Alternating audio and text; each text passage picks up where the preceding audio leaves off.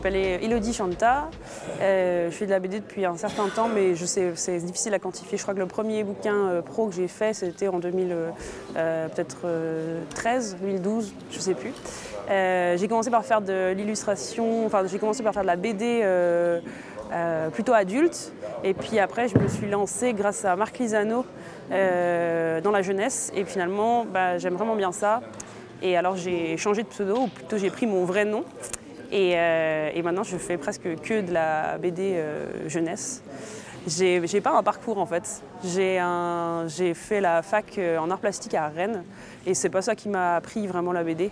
C'était plutôt du modèle vivant, des volumes, de l'art contemporain, etc. Beaucoup de blabla. Et finalement, je pense que j'aurais fait la fac ou je l'aurais pas fait, et eh ben j'aurais eu le même dessin exactement. C'est plutôt je me suis construite seule, comme on dit. Enfin, voilà. Crevette, ça fait très longtemps que, j'y pense. Euh, j'avais déjà dessiné les personnages en 2009, mais juste les personnages. Et ils se ressemblaient pas tant que ça. Joseph n'avait pas d'oreilles, par exemple. Euh, Gamel était gros et jaune. Euh, et aujourd'hui, il est plutôt élancé et bleu. Crevette, elle était blonde avec les cheveux longs. Voilà.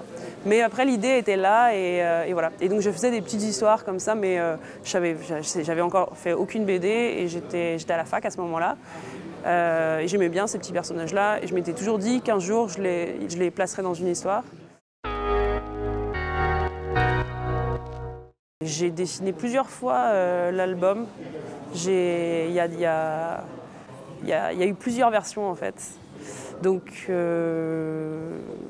voilà, les personnages sont nés d'abord et puis après euh, l'histoire. J'ai été influencée par, euh, beaucoup par euh, mes lectures, donc du coup c'était Akira Toriyama, Dr Slump, et c'est un univers un peu contemplatif où il ne se passe pas grand chose et j'avais envie de, ça, de raconter une histoire où il n'y avait pas d'enjeu du tout, juste des personnages qui vivent une petite histoire et qu'on suit et auxquels on s'attache, etc.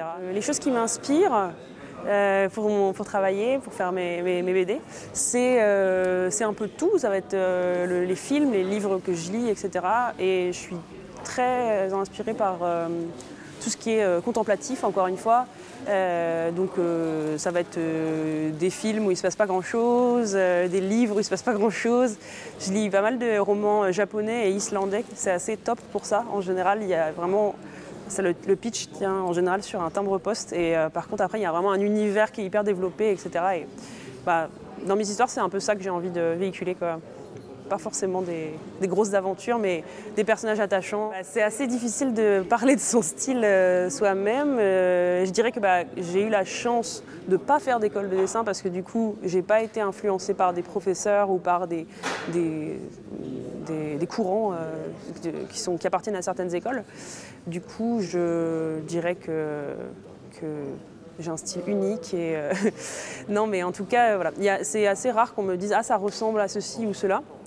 Euh, les seules fois où on me l'a dit, c'était pour me dire Ah, ça ressemble à Mafalda. Puis après, j'ai sorti une image de Mafalda sur mon téléphone et la personne a fait Ah oui, non, en fait, je me suis trompée. C'est parce que j'ai fait, je faisais beaucoup euh, un temps, bah, notamment dans, dans Crevettes, j'ai fait des visages un peu, un peu un peu typique de Mafalda, mais, euh, mais finalement c'est très différent en vérité. Euh, et, en plus maintenant j'ai changé ma façon de faire les visages parce que c'était difficile à coloriser. Donc voilà. Mais euh, du coup pour revenir à mon style graphique, il, est, en constante... tu me montres le livre pour, au cas où je ne me souviendrai pas de mon style. Non mais il est en constante évolution. Et donc du coup j'aime bien expérimenter et j'aimerais ça que tous mes albums soient vraiment tous différents et qu'on voit l'évolution de mon style. Parce que je trouve que c'est quand même plus intéressant. Je n'arrive pas très bien à, comprendre les gens qui ont une carrière euh, euh, où ils ont dessiné tout le temps le même personnage. Tout mettons, euh, comment il s'appelle, Jim Davis qui fait Garfield. Bon, bien sûr, il a évolué dans son style, mais sauf qu'il a dessiné le même personnage toute sa vie.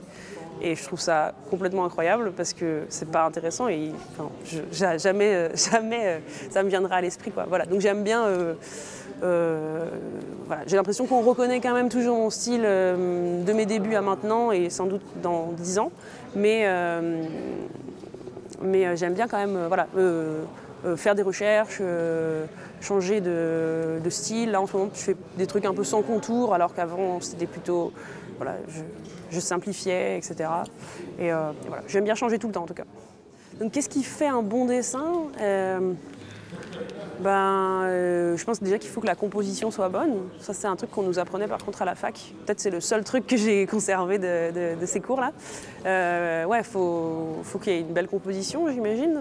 Et, euh, et, que le dessin soit vivant, je dirais. Ça, c'est le plus compliqué. Que ce soit pas, qu'il n'y ait pas un ancrage trop mou, que ce soit trop figé, et qu'on voit qu'il y, ait du mouvement dans le dessin.